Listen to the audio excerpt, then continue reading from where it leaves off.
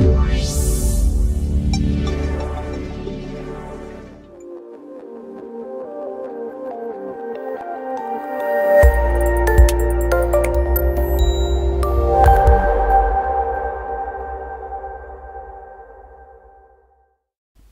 E buongiorno e bentornati a Il Mattino all'Orin Podcast, la vostra trasmissione preferita con cui iniziare per bene la giornata. Io sono sempre il vostro Leo Vargion e che dire signori, che dire. Tra, tra gli show di Netflix veramente c'è poca roba, c'è veramente pochissima roba che eh, riesce eh, ad esaltarsi, riesce veramente a saltare sopra tutta la mediocrità che, che contraddistingue questa piattaforma, come tante altre piattaforme ci mancherebbe.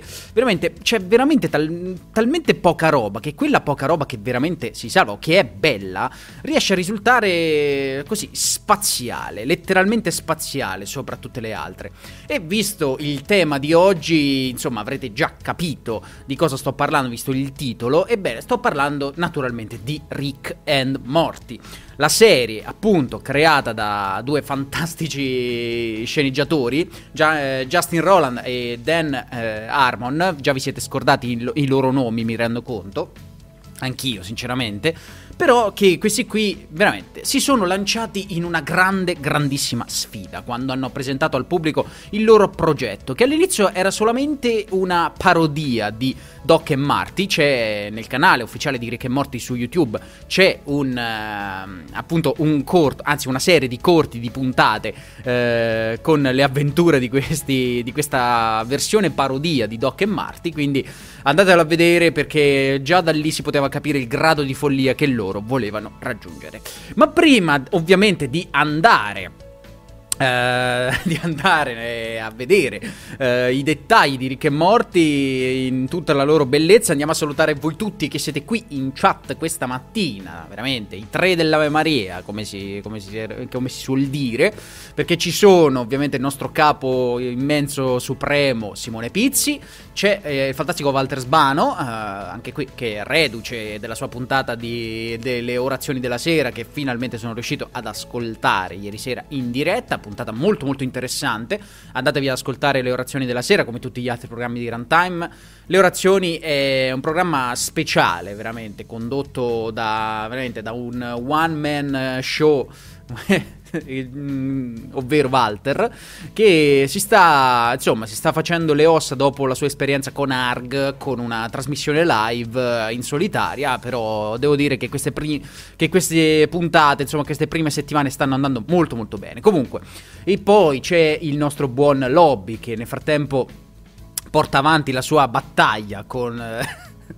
sul, del partito che schifo i francesi, ma qui non si fa razzismo ragazzi, poi ce lo facciamo fra di noi naturalmente, però eh, lo sta facendo, non so in che modo, non sto seguendo be- benissimo cosa stai facendo, pace tra i mondi a tutti, esatto, caro, caro Lobby, perché insomma, pace tra i mondi ovviamente in questa maniera, voi lo sapete che eh, Rick e Morty vive di citazioni anche di questo tipo, ma prima appunto di buttarci come sempre nelle fauci della follia, come dico sempre, in questo caso poi fauci della follia molto colorate, molto fantasiose, sigla del venerdì.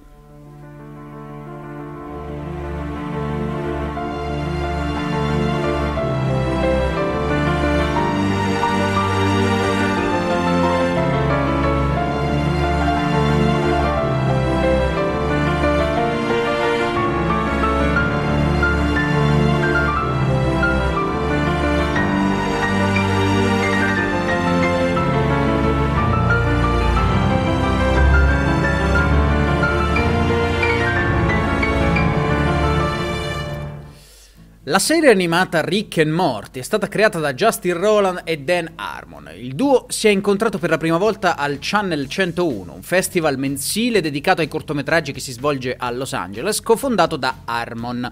Durante il Channel 101 i partecipanti presentano un loro cortometraggio nel format di episodio pilota e il pubblico in diretta decide quali episodi potrebbero diventare una vera e propria serie.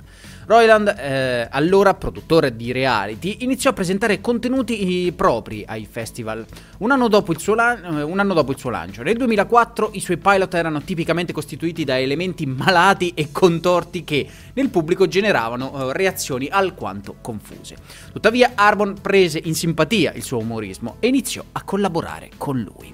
E questo è l'inizio della grande storia di Rick e Morty raccontata ovviamente da Wikipedia, ovviamente eh, e stiamo ovviamente parlando, come dicevamo, di, di Rick e Morty già dall'inizio, portando, portando fuori citazioni come quella del dito medio perché? Perché ragazzi, Rick e Morty è una di quelle serie, ripeto, come avevo detto all'inizio della puntata, che non solo vive di citazioni, vive di, così, di questi momenti particolari, ma vive soprattutto, ma è una serie meravigliosa, una serie che spicca veramente su tutte le altre di Netflix e ogni volta che esce eh, una nuova stagione di questa, di questa nuova eh, di questa di, nuovo, oddio, di, di, questa, di questa serie, eh, tutto il pubblico veramente è felice di questa cosa e io prima di tutti, sul serio, perché Rick e Morty è qualcosa che ti sveglia davvero da, da un torpore, da una da, da, un momento sul serio di, di, apatia totale. Ti riporta un po'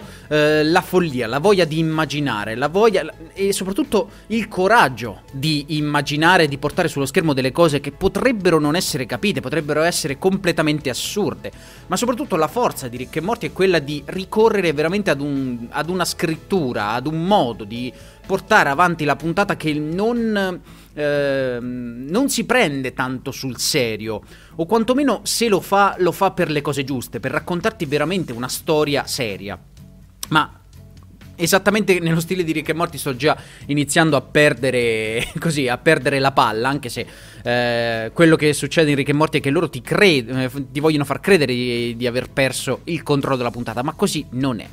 Perché quello che ci racconta Rick e Morty, la, questa serie, non è solamente le, le avventure sgangherate di un duo eh, nell'universo, no, ci racconta qualcosa di molto più profondo, qualcosa di molto più importante, ovvero eh, la possibilità di fare di tutto. Ci racconta un universo fatto di possibilità incredibili, ma soprattutto ci, racco- ci racconta come, se tu hai il coraggio di prendere la vita, eh, se vogliamo, a piene mani, tutto ti potrebbe succedere veramente qualsiasi cosa, ok? Certo, è una serie che vive anche di fortissimo cinismo, che ci racconta veramente come le cose possono andare veramente in merda anche alle persone più buone. Ci racconta che alle volte devi essere veramente un gran bastardo se vuoi sopravvivere a un universo che alle volte sembra veramente coincidere tutte le sue forze, voler far collidere tutte le sue forze contro di te e Rick, per l'appunto, eh, Rick e Morty entrambi si trasformano in realtà non in dei semplici personaggi, ma in dei veri e propri archetipi. Archetipi che infatti vengono, secondo me, spiegati magistralmente nelle puntate in cui si tratta il tema della cittadella. Ma andiamo con ordine. Per chi non avesse mai visto Rick e Morty e volesse approcciarsi alla serie, eh, ecco le premesse generali. Nata come una serie eh, che voleva parodizzare appunto Doc e Marty, ripeto, andatevi a vedere il cortometra- i cortometraggi, insomma, pilota di, di Rick e Morty e vedrete veramente le cose più assurde. Io ne ho visto un pezzettino solamente stamattina, prima di venire qui mm, eh, a fare la diretta, e ci sono rimasto abbastanza... Mm, eh, ok, cioè, ci sto dentro, amico. E ci sono rimasto abbastanza così, eh, sconvolto. perché davvero ho visto cose allucinanti, ma vabbè, eh, poi ripensando a tutta la serie è, stata, è stato anche un, un, dirsi, eh vabbè, però dovevo aspettarmelo. Comunque, di, mm, dicevo, nata come una parodia, in realtà, eh, come tante altre cose, come poteva, essere Bat, eh, come poteva essere Ratman, per l'appunto prende la sua strada. Inizia a raccontarti una storia che è ovviamente molto diversa da quella di Ritorno al futuro. Rick e Morty è la serie eh, che parla di questo scienziato, Rick Sanchez, che...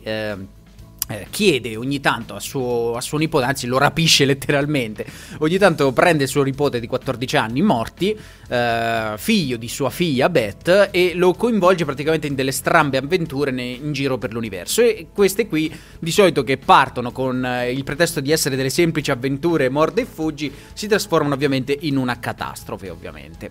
Eh, però la serie non ci racconta solamente degli episodi autoconclusivi e basta, cioè sarebbe stata ovviamente una cosa molto facile, molto, mm, molto semplice da fare assolutamente, ma uh, la serie decide di andare oltre, di raccontarci per, per l'appunto uh, dei personaggi che sono molto tridimensionali, che hanno tutti quanti una loro uh, dignità, se vogliamo, ma hanno tutte le loro peculiarità e soprattutto li rendono veramente veramente vivi. Uh, infatti scopriamo che nella famiglia, insomma, tutti hanno qualcosa, tra virgolette, di speciale, ecco. Beth, la figlia di, di Rick, per esempio, vive una, una, crisi di abbandono totale dal padre che, che quando lei era piccola partì appunto per iniziare le sue esplorazioni dell'universo e, i suoi viaggi in solitaria per l'appunto e lei alla fine decide di così mh, mm, eh, di sposarsi e di mettere su famiglia eh, ma quando il padre finalmente ritorna, ritorna da lei lei diciamo è mh, mm, molto impegnata a quel punto a cercare l'approvazione di quest'uomo che ha sempre mitizzato e idealizzato nella sua testa. E questa cosa genera ovviamente malcontento all'interno della, della, coppia della coppia appunto formata da Beth e da suo marito Jerry. Jerry è un uomo molto semplice un uomo assolutamente sì anche lui non molto sveglio esattamente come Morty eh, e che diciamo vive abbastanza la giornata, è, è, un omuncolo, è una persona molto fragile, è una persona eh, sicuramente timida e con poche caratteristiche positive, se non quella appunto di essere un tipo un po' così, un po' ripeto, che, che piace a tutti, ma rimane comunque una persona che all'interno della famiglia viene un po' definito lo sfigato di turno, ecco, e che non riceve nessun rispetto da parte degli altri componenti della famiglia. Poi c'è Summer, ovviamente, la sorella maggiore di Morty, che è quella praticamente su cui eh, si, con, su, si, convertono praticamente delle linee eh, di, di, malcontento, se vogliamo, de, dei genitori, perché... Eh, perché Beth, per esempio, è rimasta incinta molto giovane di, di Summer eh, e quindi non ha, potuto, non ha, potuto, studiare per diventare un, un dottore di umani e ha dovuto, eh, tra virgolette, accontentarsi di diventare un veterinario per, eh, per, cavalli. E questa cosa, diciamo, ogni tanto viene rimarcata anche da Jerry, insomma, che con delle frecciatine le fa capire, insomma, che la sua vita un po', tra virgolette, è finita, ecco. Ma vabbè. Sì, è una coppia assolutamente disfunzionale, è una coppia che, um, che, ha tanti problemi, una famiglia che ha tanti problemi. E, e poi c'è Morty. Morty, ecco, è un ragazzo particolare eh, all'interno di, dell'equilibrio familiare perché lui è quello che di solito viene rapito dal nonno per, per, queste avventure in giro per l'universo, è quello che salta sempre la scuola, è quello che appunto diciamo in una puntata si lamentava del fatto appunto che non riusciva ad andare a scuola per colpa delle avventure con il nonno e che non sapeva un cavolo. Cioè ho 14 anni ho fatto eh, in un anno di scuola ho fatto 8 ore di, di, lezione non so un cavolo ti prego fammi andare a scuola. Cioè addirittura è lui da, da 14 anni a chiedere al nonno di poter andare a scuola. Ha questa perenne cotta per la sua compagna di scuola Jessica la classica più bella della scuola Uh, quindi mh, si gioca anche su, fortissimo su questo stereotipo che viene ogni volta, uh, diciamo, decostruito e ricostruito in diverse forme. E, il bello appunto di Rick e Morty è, proprio questo, che si gioca tantissimo su, mh, sugli stereotipi, li si, veramente li si fa a pezzetti, li si guarda dall'interno e poi li si ricompone in maniera completamente disordinata. Infatti uh, è bello perché ogni tanto... Mh, sì, Jessica conosce Morty, eh, ogni tanto diciamo eh, quasi che si dimentica di lui, ogni tanto mh, mm, ci viene fatto intendere che in realtà lei prova qualcosa anche lei per Morty, insomma non si capisce mai bene che, che rapporto hanno questi due. E mh, mm, si sa solo che Morty diciamo come qualsiasi ragazzo quattordicenne ha diciamo, gli ormoni impazziti, ogni tanto ha questa fortissima tendenza a volersi toccare là sotto, insomma ha tutte queste caratteristiche ecco da, da ragazzo quattordicenne, ma ripeto Rick e Morty nel loro, nella loro essenza all'interno della serie diventano dei veri e propri archetipi narrativi, non, non sono semplicemente dei personaggi all'interno di un contesto, sono delle vere e proprie rappresentazioni di modi di essere. Per esempio, Rick sì, rappresenta la genialità, ma al, te- ma al tempo stesso è un'allegoria di come funziona l'universo, ovvero che un giorno gli prende bene, inventa delle cose fantascientifiche, è super uh, efficiente, ma il giorno dopo magari è reduce de- della più grossa sbronza della sua vita e quindi non, non, riesce a fare niente, insomma, ma diciamo che quello che lo, che, che lo contraddistingue sempre è la sua fortissima genialità che lo salva ogni volta, infatti probabilmente lui passa più tempo ad inventare attrezzi per evitare di morire per, per i suoi stessi errori che altro, insomma. Uh, secondo me ci sono richiami non troppo velati anche, anche a Doctor Who. Ma uh, io penso che mh, mm, qualsiasi serie di fantascienza barra fantasy è stata presa, ma qualsiasi serie in generale è stata presa da Rick e Morty, proprio perché la sua natura è quella di esplorare per l'appunto le possibilità che vengono offerte da eh, che vengono offerte praticamente da, da, qualsiasi cosa, ecco, le possibilità che l'universo ti offre. E quindi sì, ci sono rimandi a qualsiasi cosa, ci sono citazioni continue a qualsiasi film, serie tv della cultura popolare, insomma, ehm, ci sono le puntate in cui loro giocano a Minecraft, che ne so, e in realtà, eh, ripeto, Rick e Morty non fa, non fa, non nasconde, non fa segreto di prendere a piene mani tutto questo e di, ripeto, ri- decom- decomporlo, cioè scomporlo e ricostruirlo come gli pare, per costruirci, diciamo, delle trame che sono assurde. Eh, poi ci sono degli episodi che sono particolari, perché Rick pur di eh, lasciar correre una qualsiasi situazione, preferisce eh, mettere su un piano allucinante, assurdo, per, ehm, per dimostrare di avere ragione sul, sul nipote o su chi, o su chi pa- gli passa davanti. C'è per esempio una puntata in cui lui praticamente vuole smentire completamente Morty sulla validità di un suo piano. Vado a raccontarvela, anche se raccontarvela appunto non, non riuscirebbe mai a restituirvi l'assurdità di, di, tutto questo. Allora, Rick deve incontrarsi praticamente con dei mafiosi. Eh, con dei mafiosi ovviamente alieni, cioè qui è praticamente tutto alieno. Eh, loro partono nello spazio, ma alla fine rincontrano praticamente le stesse situazioni che, potreste, eh, che si potrebbero incontrare sulla Terra. Quindi, eh, se si fermano in una. Eh, su un pianeta, di solito è un pianeta che magari è una versione strana della Terra, come per esempio il pianeta, quello lì dove dove si ripropone per esempio il film Il giorno del giudizio, no? quello lì sul, sullo sfogo, no? il classico eh, il classico film sullo sfogo annuale in cui un giorno all'anno tutto è legale, quindi tutta la gente si, si dà la pazza gioia, no? cioè, però è un pianeta eh, a tema mormone, praticamente tema mormone western. E poi, ripeto, poi ci sono situazioni assurde come questo, questo, episodio in cui loro vanno mm, a fare questa sorta di scambio da, tra mafiosi. Loro si devono portare questi cristalli blu che devono scambiare con dei cristalli rossi non ci viene spiegato benissimo, oddio, o almeno non, o, mm, o, meglio non mi ricordo se viene spiegato benissimo eh, a cosa servono questi cristalli, ma non importa. Praticamente Rick a un certo punto, prima che loro entrino dentro la fabbrica, ehm, eh, si gira verso Morty e gli dice Morty ascolta, se le cose si mettono male noi ci dobbiamo tuffare in una finta vasca di acido a cui all'interno ho nascosto delle finte ossa così da far credere che noi appena ci siamo buttati dentro siamo morti appunto disciolti nell'acido. E quindi il piano, eh, il piano è questo, praticamente Morty inizia subito a lamentarsi della validità, della scarsa validità di questo piano, di questa idea stupida e Morty, eh, scusate, e Rick se la prende molto molto male per questa cosa. E quindi loro vanno, il piano, il piano appunto viene messo in atto perché la situazione è, ovviamente si, si rivela pericolosa e si, e si, fiondano in questa vasca di acido finto, che in realtà è una sorta tipo di, di cedrata, insomma ha questo colore verdino che ricorda eh, l'acido, ma in realtà è un, è un liquido di nessun, eh, che non serve assolutamente a niente. Si tuffano in questa vasca di acido, si mettono tipo le maschere per respirare sotto, sotto, questa, sotto questo finto acido e, e nel fondo di questa vasca di finto acido, eh, Rick ha messo una botola con scritto ossa in caso di, di piano fallito, così.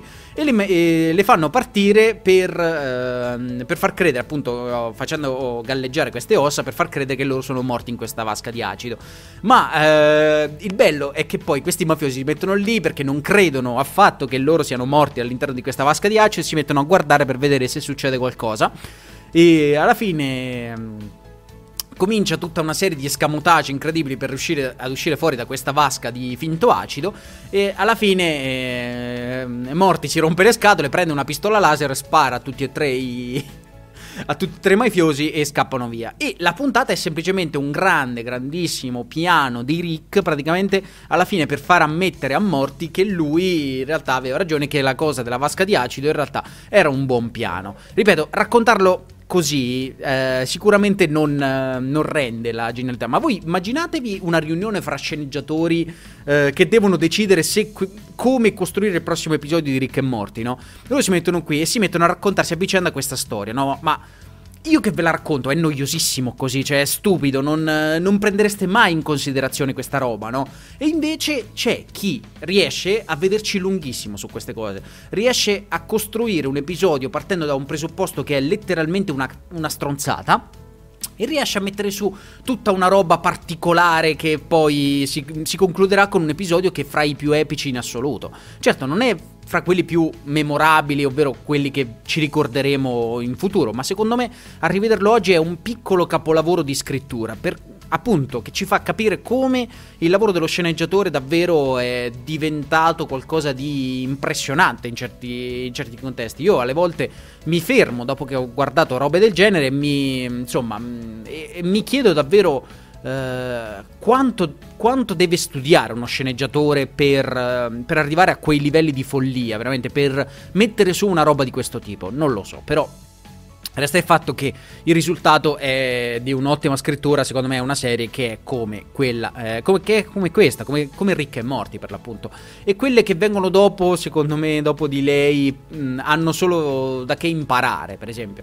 Io sto vedendo, oltre a fare il rewatchone di Rick e Morti, sto vedendo assieme alla mia ragazza un altro, un altro cartone molto simpatico che, ve, che vi consiglio, che non può che essere figlio di Rick e Morti davvero, perché non è fatto dagli stessi creatori, ma ehm, secondo me prende a piene mani e secondo me ha anche... Di- io ho trovato diverse citazioni, eh, o quantomeno dei rimandi a Rick e Morti, non so quanto, volu- non so quanto voluti ovviamente, Uh, e si chiama Inside Job, che racconta praticamente del, del, deep state, quindi prendono tutti questi complottoni incredibili della cultura popolare, le scie chimiche, i rettiliani, uh, i ricchi che che in realtà sono dei vampiri, insomma, l'adenocromo, questi, tutti questi complotti deficienti e li mettono al servizio appunto di una trama. E parla di questa, di questa donna e del suo gruppo di, mm, eh, di, collaboratori che devono per l'appunto portare avanti i piani per far sì che i complotti mondiali continuino a, ad esistere, che ne so, la, la terra cava, eh, gli uomini talpa, insomma tutte queste cose che, che vengono utilizzate come pretesto appunto per, eh, per, fare dell'umorismo. Molto carino Inside Job, ve lo consiglio, fa ridere assolutamente, eh, però ripeto, secondo me è figlio di Rick e Morty, o quantomeno de, di quel tipo di narrazione. Allora, che dite, che dite? Suggerisco eh, Lover Decks, sempre degli stessi autori di Rick e Morty, ambientata nell'universo di Star Trek. Pur essendo un mix potenzialmente assurdo, il risultato è geniale, anche se, per ovvie ragioni, non arriva ai livelli malati di Rick e Morty. Però porta un po' di sangue e merda in Star Trek. A proposito di, di episodi che partono da una minchiata assurda, I'm Pickle Rick. Ecco.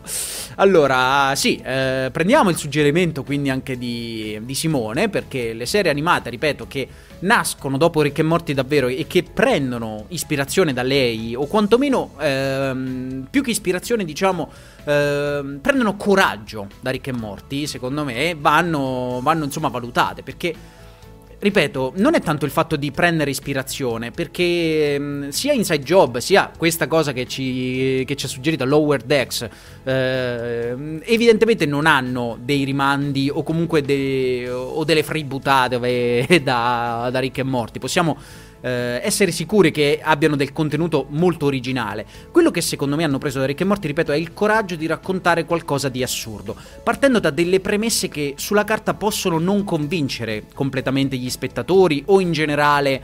Ehm, Uh, chi produce queste serie, no? Perché il primo ostacolo naturalmente è convincere il, uh, quello lì che poi ti finanzierà il, uh, il progetto. Poi il secondo ostacolo è quello di, di, far, mm, di far, piacere la cosa al pubblico, naturalmente. Ehm, e ogni volta che qualcuno mette in atto questa cosa fa una grande scommessa. E Rick e Morty è una grande scommessa perché davvero è una serie che io non ho idea di quanto costi fare se- la serie di Rick e Morty, ma Uh, di sicuro uh, non costa poco. Uh, ci sono. Non, però non è nemmeno, sai, quello. non è nemmeno, sai, una di quelle serie piene di effettissimi, specialissimi, incredibili. No, no, è tutto un, un'animazione classica. L'unica, l'unica, cosa, sicuramente, che. Mm, che può costare, diciamo, un po' di fatica, secondo me eh, a livello di, di, CGI effetti speciali è quando Rick spara sua, con la sua spara, iconica sparaporte, ovvero eh, quella che genera i portali che lo portano per, la, eh, per l'appunto in ogni angolo dell'universo. Uh, cos'altro dire di Rick e Morty? In realtà c'era una cosa che ci stavo riflettendo proprio questa mattina, prima di venire qui, uh, è che in realtà la serie di Rick e Morty non parla di lui che affronta diverse, diversi pericoli, in realtà, se andiamo a vedere, il più grande nemico di Rick è Rick stesso. E questo lo si capisce per, eh, per alcuni motivi. Perché innanzitutto lui ci viene presentato come l'essere più geniale dell'universo e anzi, molte delle sue avventure con- si concludono veramente sempre eh, sempre allo stesso modo, ovvero che lui alla fine eh, mette su un, da zero un piano incredibile per fare quello che gli pare eh, e il nemico di turno si ritrova appunto completamente sventrato dalla genialità di Rick, ovviamente, ma è lui stesso tipo ad annoiarsi, a, come per esempio nell'episodio in cui lui, alcuni, eh, lui morti, e alcuni eroi che scimmiottano un po' gli Avengers, eh, o anche, che ne so, la Lega della Giustizia, visto che è tutto ambientato nello spazio, eh, insomma, si può prendere a piene mani da entrambi i franchise. Eh, e quindi loro, loro, mm, questo strano gruppo di eroi e antieroi si trovano ad affrontare una gravissima minaccia interplanetaria, che però per Rick è una di quelle cose, sai, da fare in 5 minuti. Infatti lui alla fine, si, alla fine di quella puntata si scopre che aveva già sconfitto il nemico da ubriaco, andandoci un attimo così, e nel frattempo aveva passato tutto il tempo a mettere su tutta una serie di trappole incredibili proprio per eh, i vendicatori stessi, che si ritrovano per l'appunto a morire ehm, uno dopo l'altro l'altro a causa delle trappole di Rick, appunto. E ehm, un'altra di quelle puntate che ti fa capire che il più grande nemico di Rick è Rick stesso. Eh, poi, come finisce la quinta stagione, in effetti capiamo molto del personaggio di Rick e si dà veramente una, un tono di serietà a questa serie che Ehm, che cavalca completamente l'assurdità che ci viene raccontata, ma ci racconta anche una storia molto triste. Perché Rick, per l'appunto, lui paga lo, scot- lo scotto di essere la persona più geniale del suo stesso universo. Paga il fatto eh, di, aver in, di, aver inventato il, il, viaggio interdimensionale, che è una di quelle cose che in tutto l'universo viene appunto viene richiestissima. È, è uno dei motivi per cui lui viene eh, viene cacciato, viene, viene braccato da, da, da, chi che sia perché tutti vogliono la tecnologia della sua sparaporte, che è evidentemente l'oggetto più ambito di tutti, c'è la possibilità di viaggiare fra le dimensioni istantaneamente e, e senza nessuna conseguenza, insomma la possibilità appunto di poter cambiare realtà in un secondo, così, eh, senza nessun, ripeto, senza nessun danno, senza nessuna conseguenza, ecco. E, ehm, e, questa cosa diventa appunto motivo di tanti tanti problemi per Rick. Eh, perché poi nella fine della quinta stagione si scopre che in realtà lui ha inventato il viaggio interdimensionale perché la sua famiglia è stata uccisa da Rick di altre dimensioni, appunto. E quindi lui ha cominciato a viaggiare fra le dimensioni per, um, appunto per cercare gli assassini della sua, della sua, stessa famiglia, ma col tempo questa caccia lo ha sempre di più logorato dentro ed è diventato sempre più uh, un, um, un, disilluso, si è sempre di più distaccato, se vogliamo, dalla lotta, si è, si è stancato di tutto e alla fine ehm, ha perso completamente l'entusiasmo, quindi quello che fa lo fa completamente senza interesse ed è, ed è anche questo uno dei piccoli insegnamenti di Rick e Morty, cioè il, non, cioè il farsi sopraffare dalla vita e il... Uh, e il perdere completamente l'interesse per le cose che ti fa perdere anche l'entusiasmo nei confronti dell'universo stesso e di tutte queste possibilità, no? Uh, però è anche questo il punto, che Rick è una persona eternamente insoddisfatta e tutto, tutto, il multiverso non gli basterà mai per colmare il vuoto della sua anima. E questo è, secondo me, è fantastico di Rick e Morty, che ti insegna anche questo, che sì, io potrei veramente raggiungere qualsiasi obiettivo nella vita, ma la verità è che l'unica cosa che conta, io non la posso trovare al di fuori di me. Io, l'unica cosa su cui posso lavorare sono io stesso.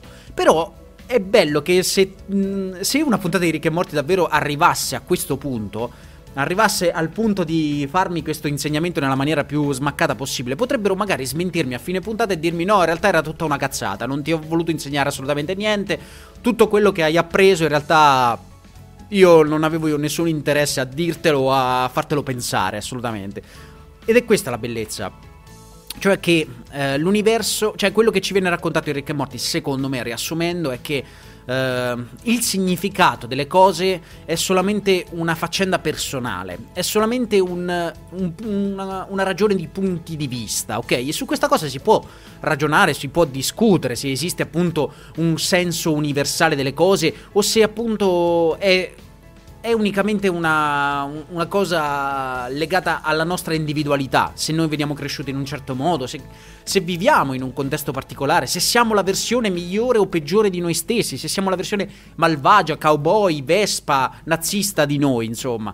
Uh, Enrique Morti ci dice tutto questo, ce lo dice in una maniera colorata, incredibile, funzionale veramente a, a gag e a situazioni assurde che poi trovano, trovano, il loro compimento veramente in, eh, in, episodi in cui succede veramente la qualunque. Però ripeto, ogni parola che possiamo aggiungere su, sul cercare di spiegare Rick e Morty sarebbe una parola di troppo. Quindi eh, lascio la parola magari a voi in chat se avete qualche commento da fare sulla serie, se avete appreso, se avete riflettuto mai sul, sul significato profondo di Rick e Morty, se avete pianto, riso o se non avete fatto assolutamente niente eh, alla vista di questa serie. Tanto, qualsiasi, qualsiasi sia la vostra opinione, probabilmente non cambierà una virgola, un accidente di niente nell'universo. E detto questo, signori, allora nel frattempo sì, Simone ci ha droppato in chat, ci ha lasciato in chat il link per uh, Lower Decks, quindi grazie Simone. Mi pare di aver visto allora il trailer di questa, di questa serie, uh, che la trovate da quanto, da quanto vedo su Prime Video.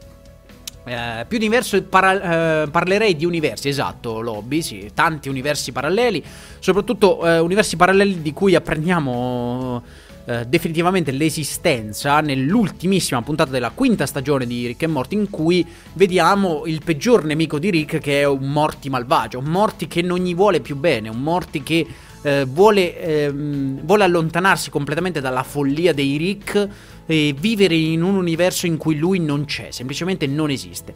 Però ehm, si potrebbe parlare veramente per ore del, del significato criptico della, dell'ultima puntata che abbiamo visto, dell'ultima, del, dell'ultima stagione per l'appunto, ma eh, ci terremo queste domande quando andremo magari ad analizzare la sesta stagione di Rick e Morty che arriverà. L'annuncio è stato rilasciato, quindi eh, ci sarà, ci sarà assolutamente. Uh, dunque, dunque, dunque, non so se... Uh, la quinta stagione, sì, no, in realtà non è stato aggiornato ancora il signor Wikipedia, ma stavo vedendo qualche notizia stamattina e si sa che appunto Rick e Morty torneranno con una sesta stagione e noi non vediamo l'ora, quantomeno io non vedo l'ora di vederla assolutamente. E detto questo, signori, quali fantastici ricordi avete di Rick e Morty? Quali curiosità avete su questa serie? O quali, eh, o quali che ne so, dubbi avete eh, sul vederla o meno? Io mi sono un attimo così dilungato e poi gli dice i morti, esatto. Eh... I morti o i mortacci con la Y alla fine. Uh, se avete qualche dubbio, se avete qualche domanda, se avete assolutamente qualcosa da dire su questa serie, ovviamente ditecelo sul nostro gruppo dirette Runtime Radio. Oppure, no, eh, se volete dircelo, ditecelo lì assolutamente perché è il nostro gruppo di discussione su Telegram. Seguite anche il nostro canale ufficiale, quindi Runtime, la radio geek per, per, essere sempre aggiornati su quello che succede sulla nostra meravigliosa radio, quindi non perdetevi, non perdetevi questa occasione fantastica e seguite i nostri podcast perché c'è sempre qualcosa di nuovo, di bello, di magico su Runtime Radio che è un po' la nostra versione del multiverso di Rick e Morty in cui veramente potreste trovare di tutto. E basta, basta, devo dire così. Per gli annunci siamo a posto. Poi, poi, se vogliamo fare ulteriori annunci, dunque, dunque... Mm, no, stasera non ci sono le orazioni della sera perché mi pare che il giovedì sia l'ultima puntata della settimana. Martedì, mercoledì e giovedì, se non sbaglio, caro Walter, eh, ridicelo in chat. Ma comunque, domani dovrebbe esserci, dovrebbe esserci di nuovo Michela De Paola con eh, Disordinati Informati, domani mattina che è sabato, quindi fateci, fateci sapere anche voi Simone e Michela se questi appuntamenti annunciati sono, sono corretti. Walter ci dice di sì, quindi martedì, mercoledì e giovedì ci sono le orazioni della sera dalle 20 alle 20.30. Simone e Michela torneranno domani con le orazioni, no, sì, con disordinati informati. E questa trasmissione invece tornerà, eh, tornerà lunedì eh, con, eh, con, la con, la classica puntata del lunedì in cui racconteremo delle storie particolari, anche se sto cercando un format alternativo per, per il lunedì, sto cercando insomma de, un modo per rendere il lunedì un po' più accattivante, se no eh, mi annoio pure da solo a farlo alle volte perché insomma è così. È, soprattutto mi, an- mi, annoia magari fare delle cose troppo simili magari ad altri programmi, perché adesso abbiamo Uh, se vogliamo, tre, mh, mm, tre, spazi in cui parliamo di notizie almeno. Quindi c'è sia il lunedì con il mattino allora in podcast, in cui uh, ogni tanto vi, vi, lascio una notizia e ne parliamo assieme. Uh, poi abbiamo ovviamente le orazioni della sera che vive naturalmente esattamente come OGM di notizie, di news e di discussione anche se Walter sta facendo un ottimo lavoro per differenziare un po' il suo format. E poi ovviamente ci sono Michela e Simone con disordinati informati che eh, vivono appunto, appunto di notizie. Quindi sto cercando anche il modo di rendere il lunedì un po' più particolare, ecco, per, eh, per, far sì che questo non sia solamente un, un episodio random del, della settimana, ma mi verrà in mente qualcosa, signori, ci verrà in mente qualcosa, cosa fare di, di lunedì, ma eh, sappiate che lunedì sceglieremo anche il, nu- il, nuovo libro game da portare avanti mercoledì prossimo, quindi siateci, datemi una mano a scegliere fra i titoli che abbiamo a disposizione per continuare la nostra eh, fantastica, fa- il nostro fantastico format del mercoledì. E basta, signori. Detto questo, possiamo approcciarci alla fine di questa puntata e ovviamente non posso fare altro che eh, ringraziarvi della vostra presenza, della vostra costante partecipazione a questa trasmissione che non sarebbe niente senza di voi. Grazie veramente tanto e insomma, io vi saluto e vi auguro una buona giornata.